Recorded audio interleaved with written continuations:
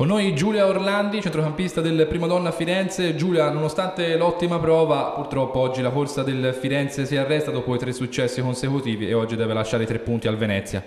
Sì, purtroppo oggi è andata così, veniamo da, da, una settimana compresi i recuperi, infatti insomma, la stanchezza si è fatta sentire, questo non ci deve assolutamente abbattere, il morale deve rimanere tranquillo, dobbiamo lavorare, dobbiamo migliorare in molte cose e speriamo comunque di tornare a fare risultato.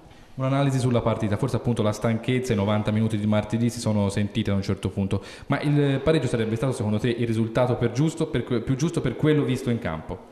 Penso che noi nel secondo tempo abbiamo avuto varie occasioni che dovevamo sfruttare miglio, insomma, nel modo migliore. Anche nel primo tempo, subito il gol, abbiamo avuto la possibilità di realizzare il rigore, purtroppo non è andato a buon fine. A volte bisogna accettare quello che viene e da quello che si subisce ricostruire, ripartire e creare qualcosa di nuovo. Oggi si chiude il girone di andata, un bilancio su questa prima parte di stagione del Firenze. Beh, per come si era partiti, francamente in una settimana abbiamo realizzato vari punti, molti punti che insomma, ci hanno risollevato il morale e insomma, anche la classifica. Ovviamente adesso ci aspetta un nuovo campionato perché si riparte tutto da zero cercando di realizzare e partire nel migliore dei modi. Bene, grazie Giulio Orlandi.